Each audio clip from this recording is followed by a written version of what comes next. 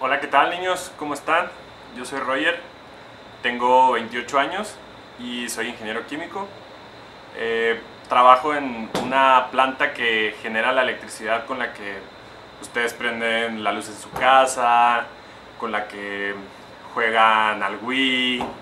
Este, y bueno, aquí en la planta nosotros generamos esa electricidad con dos cosas, con gas y con agua. Entonces yo trabajo en la planta que se encarga de quitarle toda la basura y toda la suciedad y las cosas que no queremos al agua para que nosotros la podamos utilizar ya limpia y ahora sí producir esa electricidad. Entonces, pues los voy a invitar para que conozcan algunas de las cosas que hago y pues espero les guste. ¿Me acompañan? Antes de salir es necesario traer puestos zapatos de seguridad. Ahorita se los enseño más de cerca. Y hay que ponernos casco. Es muy importante porque puede haber algún eh, tubo alguna cosa que nos pueda pegar en la cabeza. Entonces la seguridad siempre es lo primordial. Y nuestro radio. El radio con el cual nosotros estamos en contacto con los demás compañeros con los que trabajamos para eh, avisar de cualquier cosa, dónde estamos. Así que ahora sí, vamos para afuera. Bueno, eso que alcanzan a observar allá a lo lejos eh, son las dos turbinas a las que nosotros inyectamos el gas para que se produzca la energía eléctrica. Eh, yo trabajo en toda, esta, en toda esta planta, pero yo solo me dedico a la planta de agua.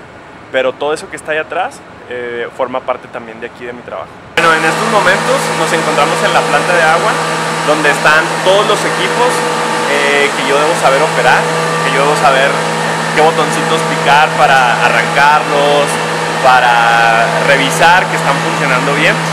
Todos estos equipos que tenemos aquí nos ayudan a quitarle toda esa suciedad al agua. Entonces, yo tengo que venir varias veces aquí a la planta para estar revisando que el agua tiene un buen color, que está, que está transparente, que los equipos están funcionando bien.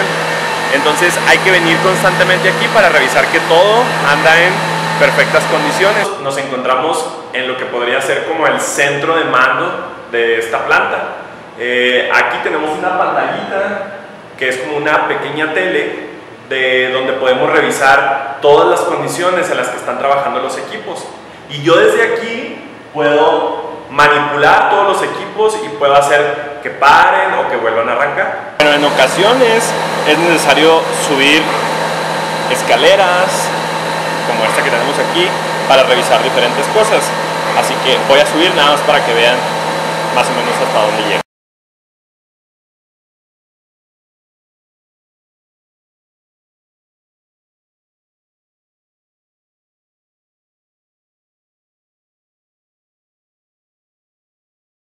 En ocasiones es necesario utilizar guantes para descargar equipos como este.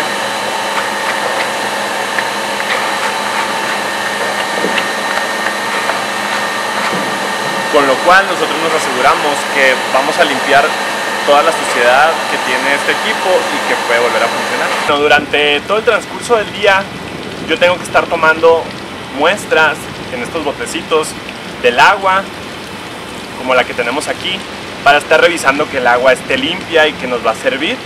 Entonces es lo que voy a hacer en este momento.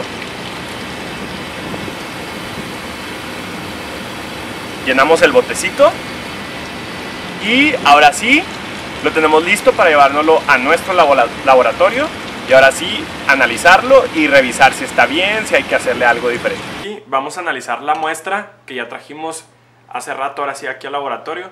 Lo que vamos a hacer es que vamos a tomar una muestra con este material de laboratorio que se llama Probeto. Y lo vamos a poner en un matraz Erlenmeyer. Y lo que vamos a hacer es que vamos a analizar qué tan limpia está el agua para saber si está funcionando bien el proceso o si es necesario agregar algún otro químico. Entonces lo que vamos a hacer primero es que le vamos a agregar un químico, una solución y le vamos a agregar un indicador que va a hacer que nuestra agua pinte de un color. Y ahorita les voy a explicar de qué color está, está color rosita. Bueno, y ahora lo que vamos a hacer es que vamos a agregar otro químico que también está en solución y nuestra solución va a cambiar a un color azul.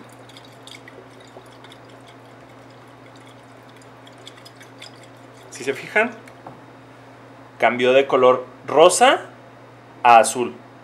Con lo cual, nosotros mediante un cálculo matemático de la cantidad de químico que se utilizó, podemos determinar qué tan limpia o no está nuestra agua. Este proceso se llama titulación. y ya para finalizar, llega el momento de registrar los resultados en la computadora para que ahora sí, con toda la información que se recaba durante todos los turnos, podamos analizar la información y entre todos, en trabajo en equipo, podamos tomar decisiones al respecto de, qué se van a, de qué cosas se van a hacer en la planta. Esto ha sido todo por mi parte, espero que les haya gustado y invitarlos siempre a que sigan estudiando. Acuérdense que todos esos sueños que pasan por su cabeza va a ser más fácil que los puedan cumplir si tienen una carrera, si se desarrollan profesionalmente y muchos más sueños van a poder cumplir de los que ni siquiera se imaginan. Así que no dejen de estudiar, háganle mucho caso a su maestra Luli, quiéranla mucho y nos vemos.